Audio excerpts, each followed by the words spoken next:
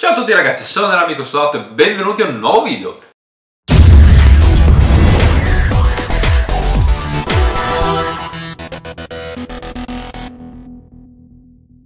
Oggi inizieremo una nuova rubrica, una rubrica che ho già, tra virgolette, iniziato sulla pagina Facebook, eh, che era sostituito dal nome Video Marcio. Insomma, oggi inizieranno i video acquisti, quindi direi subito iniziare a farvi vedere i video acquisti di questo mese di aprile.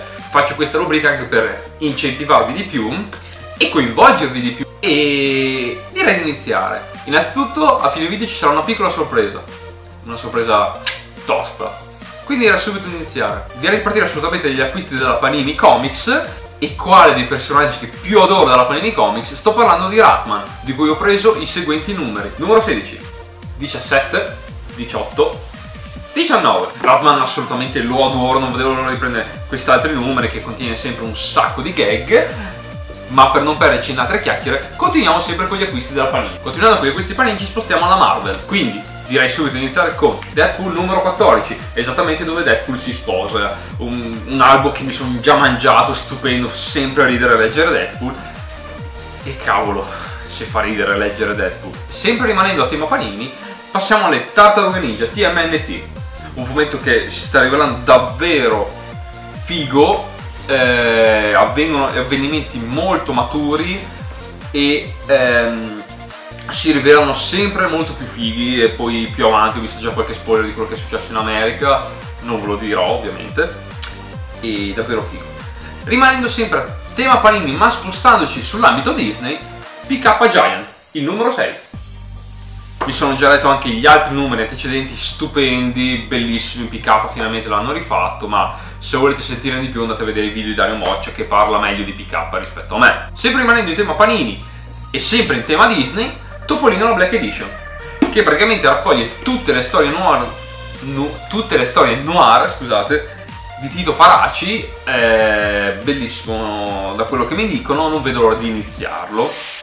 Adesso passiamo a vedere i manga e rimaniamo sull'ambito Star Comics e GP. Spostandoci sui manga adesso ragazzi andiamo direttamente alla Star Comics dove ho iniziato assolutamente, dove mi sono obbligato a iniziare una serie che non vedevo assolutamente l'ora di iniziare. Ovvero sto parlando di The Seven Deadly Sins numero 1 e numero 2 non vedevo assolutamente l'ora di iniziarlo me ne hanno parlati bene in tantissimi ho letto un sacco di commenti positivi riguardanti a questo fumetto, a questo manga e mi è piaciuto un botto i primi due numeri sono stati davvero davvero fantastici non vedo l'ora di prendere gli altri sono 7 numeri, prezzo di copertina 4,30€. Sempre Star Comics passando a un personaggio molto più tamarro del solito, Toriko, Toriko numero 20 e Toriko numero 21. Prezzo di copertina 4,30€, Toriko è fighissimo, è tamarro a livelli inimmaginabili, power up in ogni capitolo praticamente, stupendo, sta prendendo davvero una bellissima piega, spero continui per molto e spero ci siano tante altre tamarrate assurde. Sempre rimanendo in tema Star Comics passiamo ad uno dei giganti della Star Comics,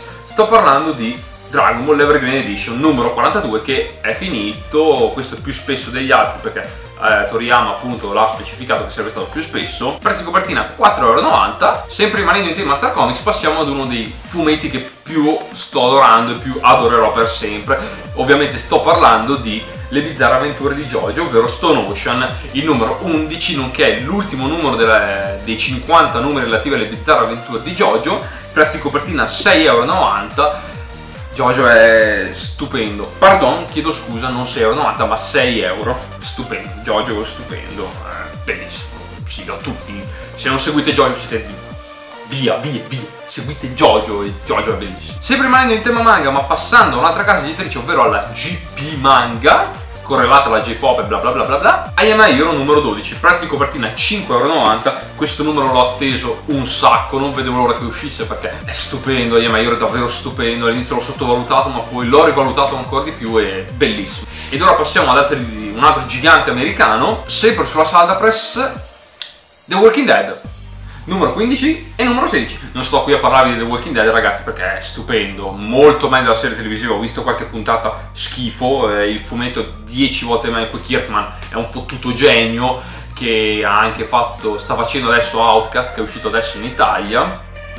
Ho preso un'edizione normale, un'edizione variant, edizione limitata, numerata, stupendo, assolutamente bellissimo. Ora spostiamoci su una casa editrice italiana, anche le altre erano italiane comunque, Sto parlando della Bao Publishing che finalmente ha, eh, dopo qualche tempo, ha pubblicizzato i volumoni di un fumetto italiano che ho adorato e sto, cioè, sto adorando in questo momento perché non l'avevo mai letto. Sto parlando di Orfani, a prezzo di copertina di 27 euro, ma li vale tutti. Questo cofanetto con copertina rigida, stupenda, bellissimo, cioè tavole splendide, bellissimo, bellissimo, assolutamente bellissimo. Poi, andando in tema Games Academy per la casa editrice Tonue, il fumetto del mese del Games Academy è proprio questo, quindi andatelo a prendere.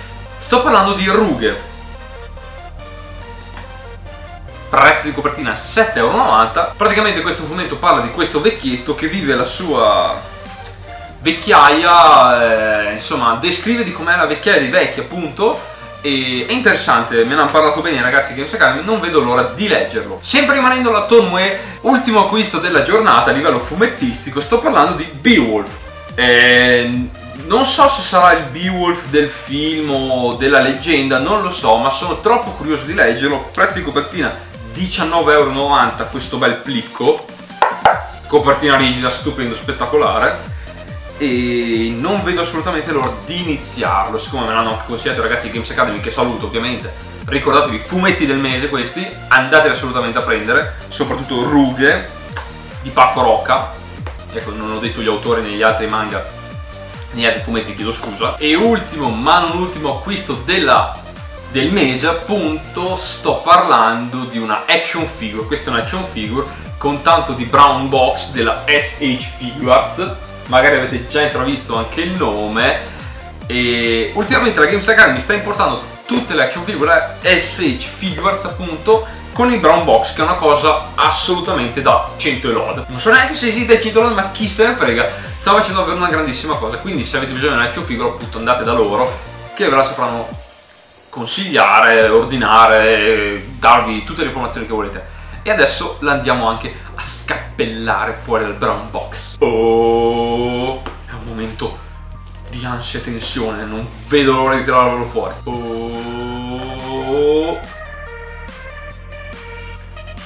tantissima, tantissima roba.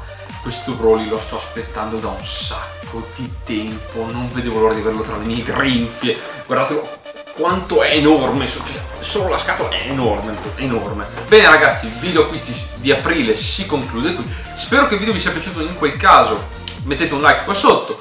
Se volete darmi una mano, aiutarmi, condividete il video, eh, commentate se vi sono piaciuti questi acquisti, se gli, i vostri acquisti appunto del mese eh, e niente. Il canale subirà un piccolo cambiamento, un piccolo mutamento, cambierà eh, non vi dico niente, vedrete tutto più avanti e niente ragazzi. Ci vediamo al prossimo video, io sono Andrea l'amico del Sold tutte le action figure che trovo io sono sempre sold ad eccezione quelle del Games Academy a volte. E niente, ci vediamo al prossimo video, collezionate sempre, mi raccomando ragazzi, e ciao! Continuando con gli acquisti panini ci spostiamo sul